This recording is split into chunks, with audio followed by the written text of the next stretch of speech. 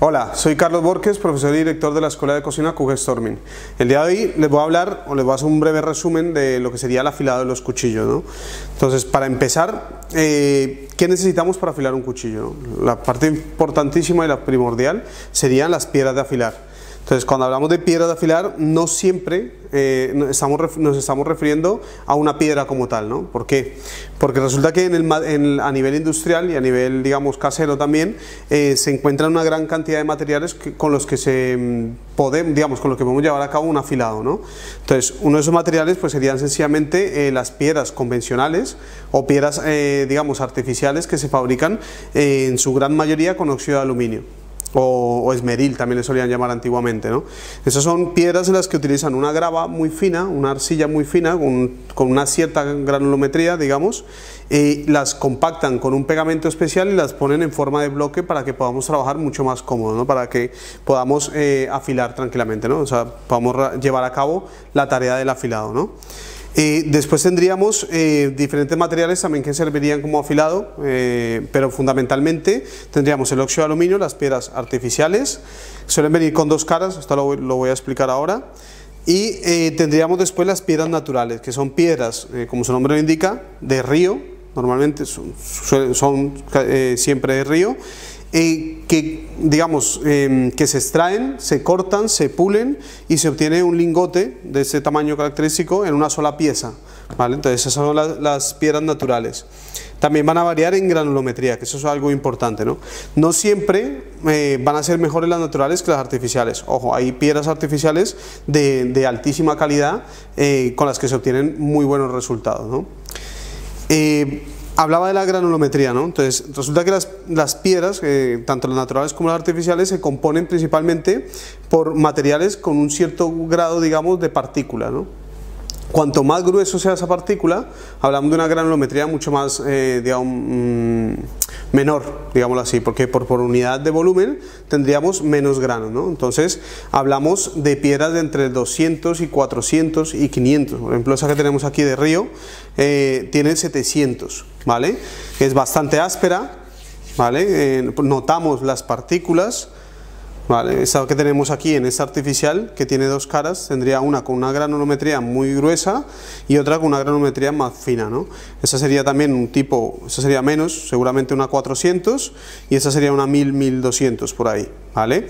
Entonces lo que nos indica ese número es sencillamente el tamaño del, del gránulo de la piedra, lo fina que puede ser la piedra. ¿no? Entonces, ¿Para qué utilizaríamos eh, unas y otras? ¿no? las más gruesas, las de granulometría más, que más baja, eh, las vamos a utilizar para el vaciado, ¿vale? Vaciado o mm, también desbaste se le puede decir. Y es sencillamente cuando compramos un cuchillo y lo adquirimos sin filo, es muy raro, pero podríamos adquirir un cuchillo directamente sin un filo eh, ya, digamos, de fábrica.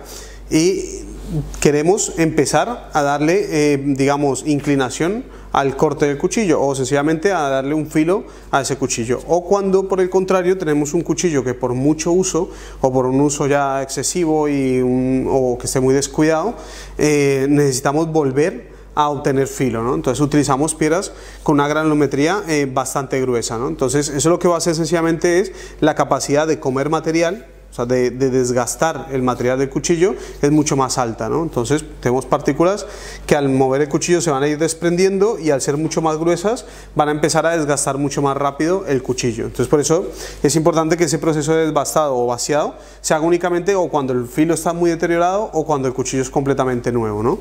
Normalmente los fabricantes suelen ya eh, eh, vender sus cuchillos con, con un vaciado, ¿no? Después tendríamos las cuchillas de, afilar como tal o de afinar. ¿vale? Entonces son piedras con una granulometría media. Entonces ahí hablamos de 1000, 1200, ah, incluso 2000. ¿no?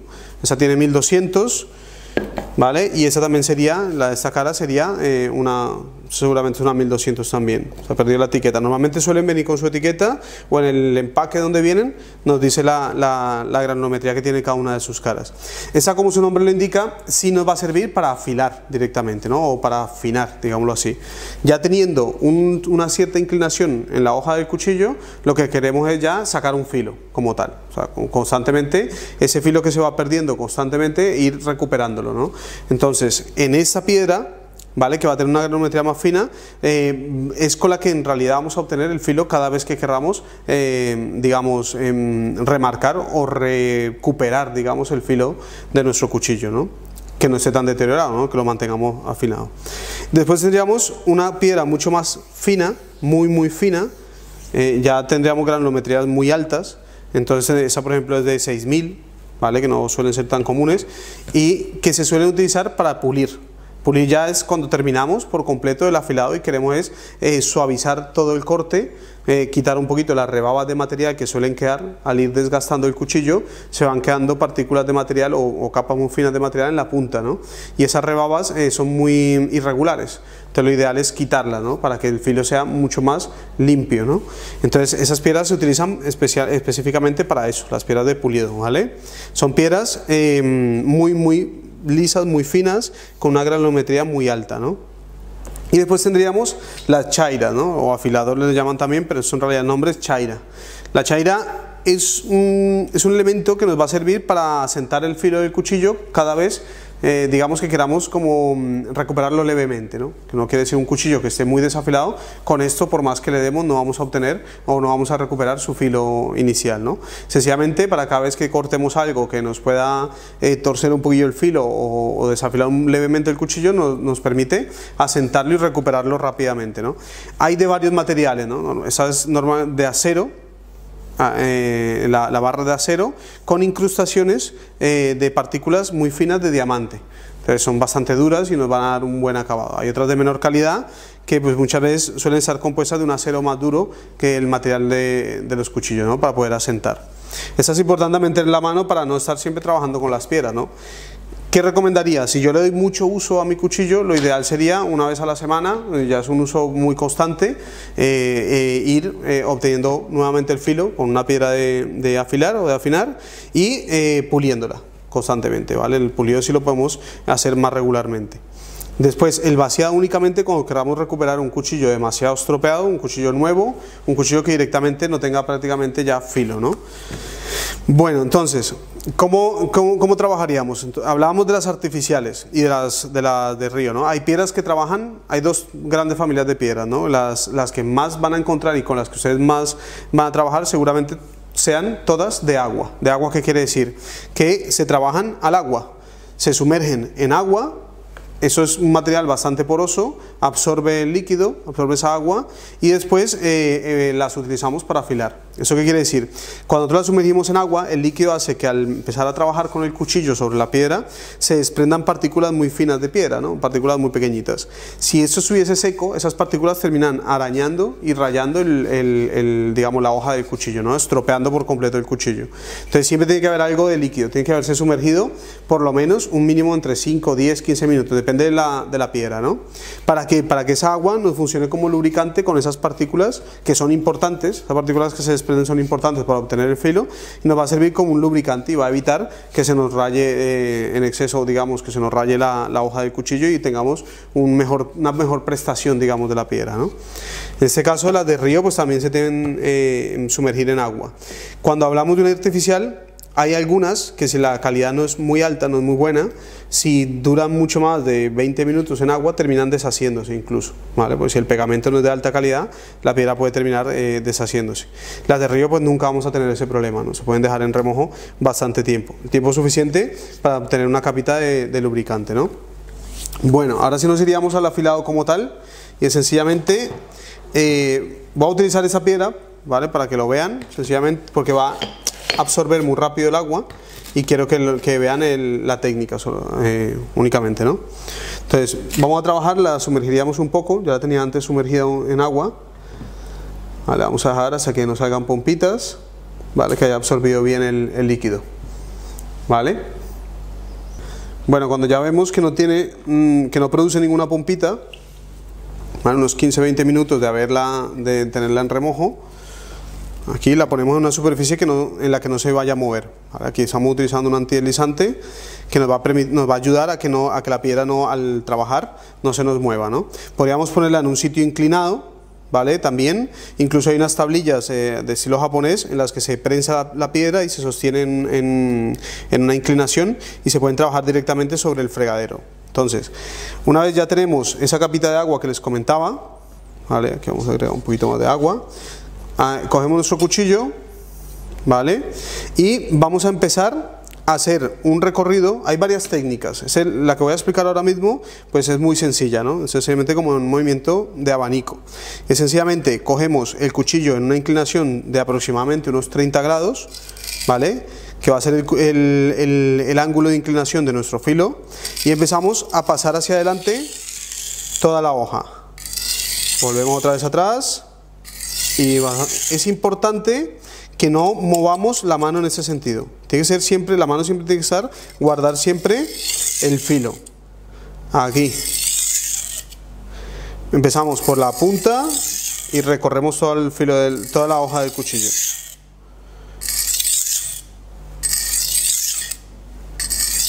Ahí está, perfecto. Entonces, ¿cuántas pasadas? Dependiendo de lo, de lo que queramos recuperar nuestro filo, ¿no? De, de, qué tan gastado tengamos el filo, ¿no? Y ahora nos venimos por el otro lado, siempre sosteniendo con estos dedos, ¿vale? Para controlar todo el momento, en todo momento la hoja del cuchillo. Y, en ese caso, pues empezamos al revés. Pasamos, ahí. Ahí, necesitamos agregar un poquito más de agua, agregamos un poco más de agua y seguimos ahí es importante mantener, como les digo, eh, eso se adquiere también con la experiencia, ¿no? El, cuando estamos pasando la hoja del cuchillo no estar moviendo la mano en ese sentido, porque si no vamos cambiando el ángulo de inclinación y no vamos haciendo absolutamente nada, ¿no? Y podemos terminar rayando la hoja del cuchillo. Entonces siempre mantener el ángulo de inclinación. Podríamos jugar también con los números de pasadas. Entonces aquí humedecemos otra vez, lo que les decía, entonces damos 10 pasadas en ese sentido. Por ejemplo, y 10 pasadas en, el otro.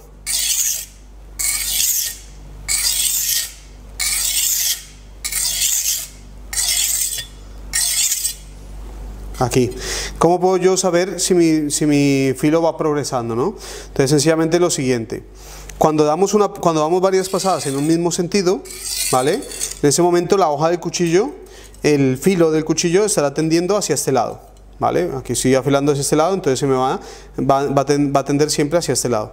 Entonces, ¿eso qué quiere decir? Cuando yo levante mi cuchillo y pase mi dedo perpendicular a la hoja, ¿vale? Debería sentir que la hoja, eh, que sentir la hoja rasposa cuando la paso en esa dirección. ¿vale? ¿Por qué? Porque el filo estaría tendido en esa parte, ¿vale? Cuando yo paso por el otro lado el, digamos, el, cuchillo sobre la piedra, el, el, filo habrá de enderezarse, habrá, ya habrá tenido que enderezarse. Entonces, la medida es sencillamente cuando yo pase mi dedo perpendicular a la hoja en todos los sentidos, lo debo sentir muy, muy rasposo. Si lo siento más rasposo en, para un lado que para el otro, quiere decir que seguramente el filo esté tendido hacia ese lado, hacia el lado donde lo pasamos muy, muy, muy rasposo. ¿no? Entonces, por ejemplo, yo termino de pasar mi cuchillo aquí, si yo tocase mi cuchillo ahora mismo, tendría que sentir que está muy rasposo en ese sentido, en esa dirección, pero hacia aquí no. Entonces me haría falta pasarlo en el otro sentido. Ahora toco aquí, paso mi dedo y siento que está rasposo ahora para el otro lado. Quiere decir que se me ha tendido para el otro lado del, filo. Entonces, la idea es darle tantas pasadas en el mismo número, el mismo número de veces, para que al pasar la, la yema del dedo perpendicular a la hoja en los dos sentidos sintamos eh, que está muy muy rasposo para, los dos, para las dos partes. ¿no?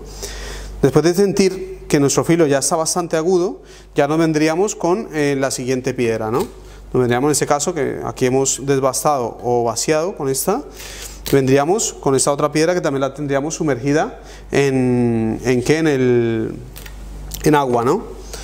vamos a sumergir un poquito en agua, solamente para mostrarles aquí. ¿Vale? Y nuevamente con esta piedra pues eh, sería exactamente igual, empezaríamos a pasar, si nos damos cuenta el sonido es diferente, es una piedra mucho más fina. ¿Vale? Ahí. Siempre atacando el filo. ¿Qué quiere decir? Eh, moviéndonos y que entre el cuchillo a la piedra prácticamente como si quisiéramos cortarla, con, la inclinación que hablábamos antes. ¿vale? Nunca para atrás. Bueno, hay gente que lo afila también así, pero a mí me gusta sencillamente siempre atacando el filo. Ahí. Entonces vamos sintiendo, seguimos manteniendo nuestro filo, pero ya nos vamos dando cuenta que es mucho más fino, ¿no?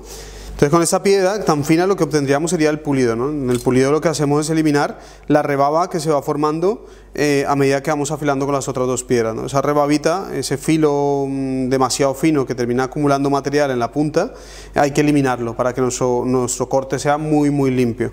Entonces para eso sirven estas piedras y lo que también suelen utilizar los, digamos, los forjadores o los que se dedican al afilado es también una, una pieza de cuero ¿vale? impregnada con, óxido de cromo que sirve para afinar muy bien o pulir muy bien el filo del cuchillo. ¿no? También se puede utilizar una madera dura. Eh, eh, ¿Para qué? Para sencillamente pulir ya por completo, ilustrar muy bien nuestro, nuestro filo, ¿no? el filo de nuestro cuchillo.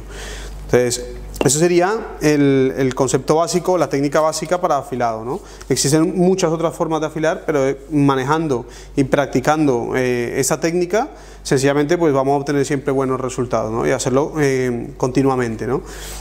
no hace falta, como les decía, estar constantemente ni vaciando, ¿vale? Si utilizamos muchísimo el cuchillo, afilar si lo podemos afilar una vez a la semana, si el uso es muy constante, y el pulido, pues cada vez que afilemos eh, deberíamos eh, pulir, ¿no? ¿Para qué? Para eliminar cualquier resto de material de acero que se vaya quedando en la punta del filo, ¿no?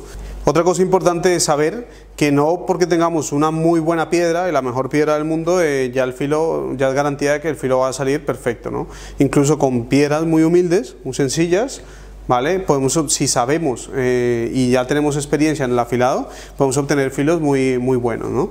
Eh, después tendríamos eh, la chaira, ¿no? que hablábamos al principio, es sencillamente para mantener cada vez que este filo se llama, se le dice embotar, por ejemplo, cada vez que ese filo que está muy fino eh, se tuerce un poco para un lado o para el otro porque sencillamente hemos cortado algo mucho más duro o lo que sea, lo que necesitamos y no tenemos ni el tiempo ni, la ni tampoco necesitamos ir a la piedra, pues sencillamente utilizamos la chaira. Entonces, para utilizar la chaira, igual con un ángulo de inclinación, igual que si fuésemos a cortar eh, sesgado eh, la chaira, atacamos el filo, ¿vale? En las dos direcciones, ahí.